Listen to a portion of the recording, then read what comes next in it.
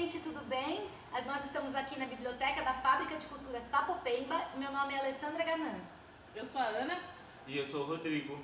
E hoje a gente vai fazer uma atividade para vocês, muito interessante. Nesse mês de março a gente está falando da mulher, né? Da mulher em todas as suas formas, em todas as suas, é, em todas as suas capacidades em toda, e na sua beleza também. Então hoje a gente vai fazer uma atividade que fala sobre a história da beleza ao longo do tempo. Nessa linha do tempo que a gente vai mostrar para vocês, a gente vai trazer as referências da época, o que era padrão de beleza naquela época, naquele ano. E para começar, a gente vai falar sobre a Grécia, como que era a beleza, o que era considerado beleza lá na Grécia.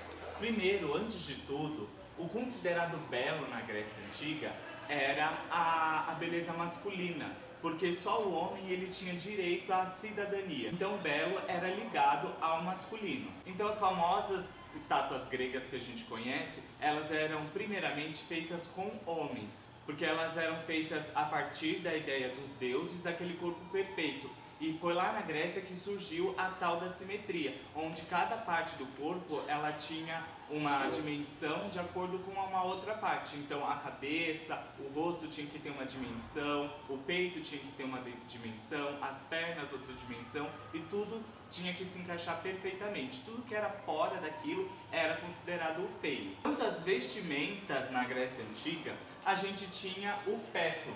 O péplo ele era muito usado naquela época e ele era esse tecido retangular que ele era fechado aqui e ele era preso aqui nos ombros. E aí quando ele caía, ele dava essa sensação aqui de baixo, né, que o tecido ele se dividia e ele era até o tornozelo. Mas essas roupas eram geralmente feitas em casa e elas eram geralmente feitas de linho. Mas ao contrário do que a gente pensa, essas roupas elas não eram totalmente brancas, muito pelo contrário, elas eram sim tingidas e o tipo de tingimento ele dizia muito sobre a classe social daquela pessoa. Esse, gente, é o chiton. Esse é bem conhecido, geralmente quando a gente tem essas festas que são temáticas gregas, geralmente a gente usa muito essa referência. Ele era bem parecido com o péplo, mas o que, que acontece? Essas, a, as amarras aqui no ombro, elas eram feitas com agulhas, elas eram feitas com alfinetes, e aí eram-se amarrados aqui na cintura, com o que fazia dar essa sensação dessas preguinhas. Então essas preguinhas, elas eram soltas e esse, esse cordão, esse cinto aqui embaixo, ele era utilizado muito como bolso, então as pessoas podiam colocar as coisas e ficava segurando aqui na, na parte do peito. E agora falando nos calçados, os calçados eles eram feitos de pele e muitas vezes eles eram tingidos, eles eram tingidos em vermelho, em preto, amarelo ou branco. E o mais usado era esse que era aberto, ele tinha, parecia uma uma sandália desses chinelos que a gente usa hoje em dia, mas só que ele tinha todo esse ornamento aqui feito com cordões. Então as pessoas pegavam e puxavam os cordõezinhos e amarravam na, na perna. Gente, eu vou falar aqui para vocês um pouquinho sobre o Egito Antigo. Bom, no Egito Antigo, como a gente pode ver aqui nessa imagem, eles tinham é, muito cabelo e eles tinham um rosto simétrico e um corpo magro e alto com cintura estreita e ombros, ombros estreitos. Eles eram bem esguios. E os egípcios, eles eram muito obcecados com a beleza. A aparência física era uma coisa muito importante. Por quê? Porque para eles, o corpo que eles tinham na terra era o corpo que eles iam chegar no céu quando eles morressem. Então eles tinham que ter um corpo saudável, com aparência física de, de esbelto. Isso era o que eles pregavam na época, né? E aqui, falando agora sobre maquiagens e ornamentos, é, os egípcios, eles tinham muito, eles eram muito neuróticos com pelos. Eles tinham que ter o corpo liso. Então eles aparavam os pelos, eles faziam uma cera que era igual que a gente usa hoje, mas era uma cera feita com os produtos que eles tinham na época, e eles se depilavam todos também. Eles ficavam todos sem pelos. Isso tinha um padrão estético, mas também tinha um outro motivo. Naquela época, o saneamento básico, a higiene e tudo mais não era como a gente conhece hoje. Então existia muito piolho, pulga, percevejo e não tinha produtos e nem tinha as coisas que a gente tem hoje para evitar. Então eles pegavam muito piolho, percevejo, essas coisas nos pelos dos, dos corpos, por isso que eles tinham que tirar. Então era estético, mas também era por esse motivo de higiene. Os dentes deles eram fortes porque eles comiam muito menos açúcar do que a gente come hoje. Não existiam produtos industrializados, então a, a alimentação era muito mais natural. Então o dente ficava muito melhor. Só que tinha muito areia no Egito Antigo. Tinha muito areia no ambiente e as comidas tinham areia. E, e a areia ia desgastando os dentes. Então os dentes dos egípcios eram um pouco desgastados por conta dessa areia dos alimentos. E falando da importância dos olhos, os olhos eram muito importantes para os egípcios porque os olhos eram a, é, o espelho da alma, né? Era com os olhos que eles enxergavam as almas das pessoas. Então era um ponto muito importante. Eles pintavam de uma maneira que desse um, uma forma amendoada e que prolongasse a linha. Então por isso que ficava a linha ocular, por isso que ficava que essas maquiagens que a gente conhece de egípcio que puxa aqui para o lado, né? Eles utilizavam de produtos que eles tinham na época, malaquita verde, uma substância denominada col, eu não sei se é exatamente assim que fala, produzida com galenita de cor cinza escuro e algumas vezes misturavam gordura de ganso para dar o, o, o creme. E não era só uma, uma maquiagem não era só reservada para as mulheres, tá? Os homens e as mulheres usavam essa maquiagem, sobretudo essa dos olhos, que eu falei que é o espelho da alma. E tem também uma coisa que os egípcios usavam, uma, uma arte, uma ciência que chama psicofisiognomia, que é a ciência utilizada para escolher os seus imperadores a partir do perfil. Então dá para ver o quanto que é importante o, o perfil, do, é, o, o, rosto né, e, e, o tipo de perfil que se tem para os egípcios, porque eles escolhiam os imperadores por conta disso. Então eles analisavam o formato do rosto, o comprimento do nariz, tamanho dos lábios e da orelha. E nisso, nessa análise, eles descobriam as características e a personalidade e o psicológico das pessoas. E aí sim, eles escolhiam, através dessas características, quem seria o seu imperador. E agora falando da Idade Média, que foi um período mais ou menos entre 400 e 1400, é um período muito extenso, mas a gente vai falar só algumas características principais. A Idade Média foi um período muito difícil de se viver. Né? A gente sabe, não tinha saneamento básico, não tinha muita estrutura, então a vida era muito difícil. Né? A grande maioria da população era pobre, era carente, tinha muitas doenças, muita sujeira. Então a vida era uma, era uma vida muito difícil. Então não dava-se 100% importância ao padrão de beleza. Quem dava mais importância ao padrão de beleza nessa época eram os nobres, os ricos, né? as pessoas que não precisavam se preocupar em o que comer, se estava doente ou não, o que vestir. Então eles acabavam tendo mais essa, essa preocupação. É, e nessa época as pessoas elas eram é, teo, o mundo era teocêntrico, então as pessoas viviam muito à base da religião era o que, o que ditava a vida das pessoas. Então, por conta da religião, as mulheres elas tinham que ter aquela aparência de Virgem Maria. Então, elas tinham aquela aparência mais é, de santa, de, de, tranquilidade, de inocência, né, de, de feminilidade muito forte.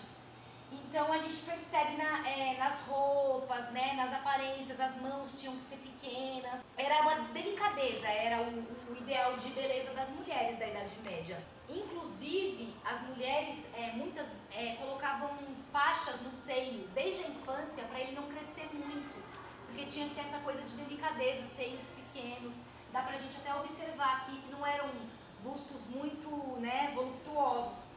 É, e as mulheres, elas tinham que ser brancas, né? Ela, o, o que era levado em consideração era a palidez. Quanto mais branco você fosse, melhor. Tem até uma, uma uma informação aqui que eu achei, é que as mulheres muitas vezes se cortavam para terem uma pequena perda de sangue, para ficarem mais pálidas. Então, tinham que ser bem brancas, as bochechas rosadas e também ela, as mulheres mais é, corpulentas, mais gordas, que também eram o padrão de beleza da época. Porque as mulheres que eram mais gordas, né, que tinham as bochechas rosadas, era sinal de, de saúde, de que eram bem tratadas, de que tinham comida, alimentação farta. Então eram as mulheres ricas dos reinos, né? Então é, esse era o padrão de beleza dessa época, né? Você tinha era mulheres gordas e, e, saudáveis. E aqui nessa foto dá pra gente ver né, o vestido azul, meio angelical. O azul era a cor dos nobres, era uma, era uma cor que só os nobres tinham acesso né, na época. é, a mulher bem branca, é, gorda, mais gorda, né? Não era aquele padrão esguio, por exemplo, dos, como dos egípcios. E é, a bochecha, as joias, né? E na Idade Média, o contrário do branco, né? Quem era mais bronzeado, mais moreno, mais preto, ficava no sol, trabalhando, eram os trabalhadores e os cavaleiros que protegiam é, toda essa nobreza. Então, eles que tinham esse padrão de cor é, mais bronzeado, né? É, e os nobres com essa cor mais branca, como já falamos. Aqui da palidez, né, que eu quis mostrar essa imagem bem, essa mulher aqui bem branca, que eu já comentei com vocês, né, que elas se cortavam para ficarem mais pálidas. Dá pra ver também as roupas, né, aquela coisa meio de Virgem Maria de Santa. E por último, essa informação aqui que eu trago para vocês também era a testa grande.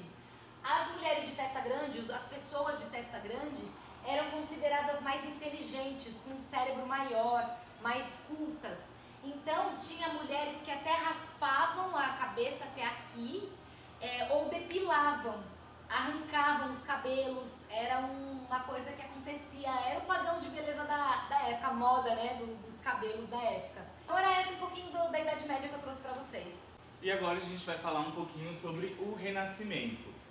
O Renascimento é uma época em que toda a sociedade, com, a, com o avanço da ciência e de novas tecnologias, o Renascimento ele se volta para o ser humano. E como na Idade Média eles tinham muito o Deus, o teocentrismo como centro de tudo, já no Renascimento o homem se volta para, a ciência. Então, tudo aquilo que interessasse ao ser humano sobre a sociedade era mais interessante. Então, sendo assim, os artistas renascentistas, que eram o, as pessoas que reproduziam as imagens e faziam as artes, as esculturas, eles se voltaram para o grego, porque o grego ele tinha toda essa questão de apreciar o corpo humano, de usar o corpo atlético como referência. Então, o, no Renascimento, eles vão buscar essa imagem do grego. Então, por isso, a gente volta com aquela imagem perfeita. Aqui, por exemplo, a gente tem a, o nascimento de Vênus, que é de Botticelli.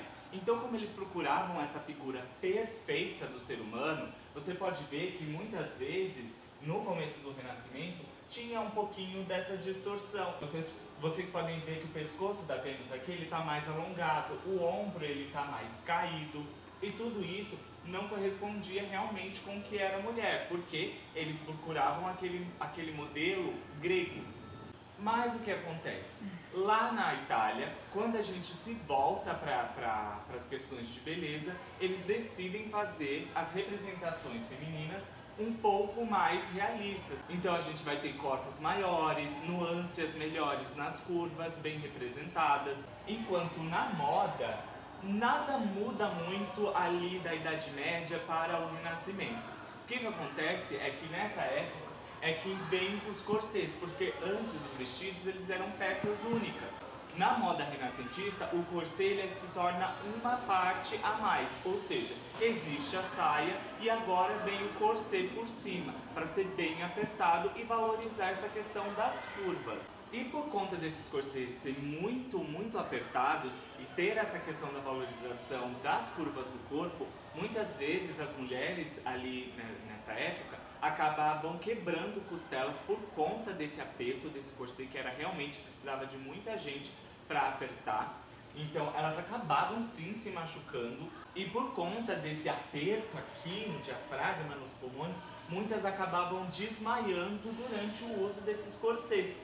E se lá na Idade Média o padrão de beleza era essa coisa angelical, que estivesse, vamos dizer assim, um pouco mais tímida, já no Renascimento tudo isso cai por terra porque assim as pessoas usavam e abusavam da maquiagem. Então, tinha pigmentação na boca, tinha pigmentação nas, nas bochechas, tinha pigmentação nos olhos, e é quando a realeza começa a usar bastante da maquiagem mesmo. E para fazer essa maquiagem, as mulheres usavam muito pó de arroz, talco e algumas gotas de uma tinta que se chamava benjuim. E ela ajudava para obstruir os polos, ou seja, elas eram bem rebocadas e com uma pele bem lisinha. Já nas vestimentas, o Renascimento ele ainda herda muito do gótico, porque demorava até para a moda mudar, porque os processos de produção eram muito mais lentos. Então, a gente tem o corset, mas aí a gente tem os tecidos nobres. Tinha muita seda, muito veludo, muito brocado. Para quem não sabe, brocado é o brilho. Então nessa época eles usaram e abusaram das aplicações. E além disso, o uso de acessórios era essencial. E toda vez que a gente fala desse período renascentista, a gente sempre que procura representações, a gente vai achar o quê? O leque. O leque ele era parte essencial. Se você era da nobreza, você tinha que andar com um lequezinho. O uso de joias e principalmente de anéis, porque isso demonstrava que você não fazia os serviços de casa. E é também no Renascimento que surgem as famosas golas bufantes. Então, antes o pessoal tinha uma roupa hum, luxuosa, porém ela era pouco apreciada no volume. Já no Renascimento, nascem as mangas bufantes, os, os, os pulsos fechados e o uso de chapéus. E aí a gente vem pro moderno, atualizando bem, tirando todas essas coisas do passado, dando uma renovada. Vem a artista Charles Dana Gibson, que cria Gibson Gill. É o primeiro padrão norte-americano de beleza feminina a ser exposto para a sociedade. Elas tinham que ser elegantes, educadas, se vestir bem, ser altas, bem magras, e ter os cabelos ondulados, cintura fina e um quadril grande e seios bem fartos. Nos anos 20, dominava o estilo melindroso, com o corpo sendo mais magro, cabelos com cortes mais curtinhos. Aqui dá pra ver, ó, já tem o corte mais curto. Aqui ela tá de chapéu, mas também é uma referência ao cinema. Aqui também. Nesse estilo, as sobrancelhas eram bem fininhas, os lábios deveriam é, ter uma aparência de coraçãozinho, só esse meio, e se destacavam os olhos que deixavam bem maiores. Nos anos 30, com a ascensão do cinema, as grandes atrizes da época serviam de inspiração para a beleza, incluindo curvas mais suaves no corpo, maçãs do rosto mais salientes, cílios longos e sobrancelhas arqueadas a olhar penetrante. Aqui, ó, dá pra ver que a roupa continua a mesma, os cortes de cabelo curto, mas marcava mais agora a boca e os olhos. Tinha que chamar a atenção. Aqui, ó, nos anos 40, já muda esse padrão. O cinema ainda ditava a moda, mas a Segunda Guerra Mundial fez com que o padrão feminino passasse a incluir refinamento e força para isso. As mulheres com ombros largos eram preferência mais elegante e está presente também. Aqui ó, dá pra ver que os ombros valorizavam mais o ombro largo, uma mulher alta do mesmo jeito, mas a roupa já se mudava, já não era um vestido. Já era uma calça, uma saia diferente, com um macacão. O penteado também era diferente. Daqui dá pra ver que a mulher pode correr, ela pode ir pra guerra, ela pode fazer o que ela quiser. A gente vai pro ano 50, que o, ideal das mulheres era ter peito arretado, pernas bem finas ao longo, aparência bem ingênua e provocativa também, cabelos cacheados, era o modelo da época. Anos 60. O revolucionário imaginário feminino, enquanto a magreza, padrão a ser seguido, cabelos voltaram a ser mais curtos e os lábios passaram a ser bem clarinhos, com contraste com os olhos, que deveriam ser bem valorizados. Aqui dá pra ver que a maquiagem ela é bem chamativa. O olho tá bem presente, lembra até um pouco dos olhos das bonecas antigamente. E as roupas também, ó, ela veio bem com a cor. Ela bem rica. As roupas mais coloridas eram as mais chamativas, mostrava mais que você tinha um padrão de beleza mesmo. Anos 70 cabelos mais volumosos, marcando a década também, veio com, mostrando um padrão de saúde e beleza naquela época. A naturalidade das formas eram mais valorizadas com maquiagens mais neutras, com vestuários mais espojados, mais coloridos, umas mini saias marcando a história. E aí, nos anos 70, era um período mais pós-guerra, era uma coisa mais espojada, era a sua liberdade, que tinha vários festivais de três dias tocando aquele rock pesado, aquela roupa bem espojada, bem solta, era calça de sino, era roupa de diversas cores, bem psicodélico, bem paz e amor. Era a época que o hip ficou bem alto, era uma época, vamos dizer, que eu queria. Os anos 80 também foi marcado com bastante cor, com bastante despojamento assim de vestes, uma roupa mais flexível. Era onde ficou bem alta uma galerinha chamada Clube dos Cinco, que era um filme da época, que tinha uma menina que andava toda de rosa, tinha um carinha que já andava com uma blusa mais xadrez, mais no estilo dele rock, revoltado. Era essa época que estava bem grande essa, esse estilo diferente, trazer o diferente à tona. Foi a explosão do jeans naquela época, era moda. Se você tinha jeans, você estava andando bem, você estava no padrão de beleza daquela época. Agora a era do contemporâneo, a gente vem com os anos 90, que vem aqui um xadrezinho, um terninho, que volta também um pouco do passado, daquela roupinha de a gente usar um blazinho, uma sainha. Elas vieram com as mini saias, xadrez, a gente vem aqui no meio também com uma das personagens do Maluco do Pedaço, com uma roupa bem estampada, bem chamativa, um rosa bem cheguei. A gente vem também, nos anos 2000, a magreza, né? Mostrar a barriguinha, usar umas calças mais cintura baixa, usar mais um topinho. O cabelo foi valorizado, ter cabelo liso, era o padrão daquela época. Aqui a gente vê um grupo de cantoras que tem a Beyoncé como ícone também, ó, usando uma calça mais baixa, mostrando bem a barriguinha. Uma cor da maquiagem também chamava um pouco a atenção, mas era também meio neutro. E aí vem os cintilantes também, que vem mudando, o milênio vem mudando a década, e ele vem em alta também nos anos 2000. Aí a gente vem nos anos 2010, uma coisa mais ou menos atual, que também puxa um pouco do passado, que ainda continua o padrão de beleza de mulher magra. Também teve uns artistas que chamavam atenção também, que não curtia muito essa vibe, queria diferenciar, como a Lady Gaga, que veio com vestido de carne. Então tinha muito esse o padrão e também contra o padrão. Na, agora na era contemporânea, mais atual, a gente também vai vir com um padrão bem altíssimo de 2020 que também foi muito valorizado ter plástica, ter um padrão de boca carnuda, a, o, maçã do rosto um pouco mais afilada, ter os olhos bem bonitos, cabelo liso, a cintura finíssima, ter o quadrizão. Tanto que tem uma família que é as Kardashians, que era o padrão de beleza a ser seguido, todo mundo via essa série. Esse foi um padrão bem difícil.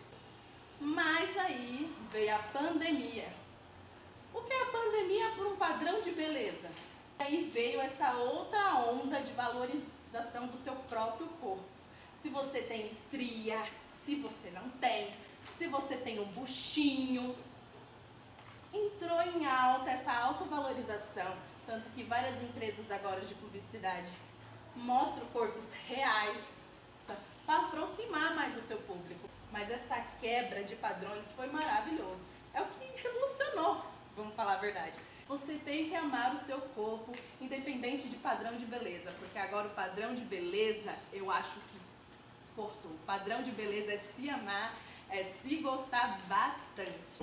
A gente também revolucionou pelo corte de cabelo que facilita a nossa vida, o nosso dia a dia. Ah, e também vem bem alta a moda de cuidar do rosto, das skincare. Tem muitos vídeos de falando como você cuidar do seu rosto. É importante cuidar da pele, então ficou bem alta também ter esse cuidado com o rosto.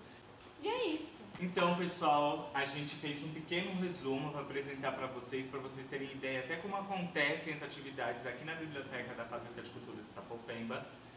E falando sobre padrão de beleza, como a gente viu pela história da humanidade, sempre houve um padrão, sempre esteve regras. A gente quebrou essas regras, a partir de agora cada um vive a sua cultura do seu corpo, cultuar a sua felicidade, o seu padrão de beleza para si, não ficar mais correndo atrás daquilo que era imposto. É isso.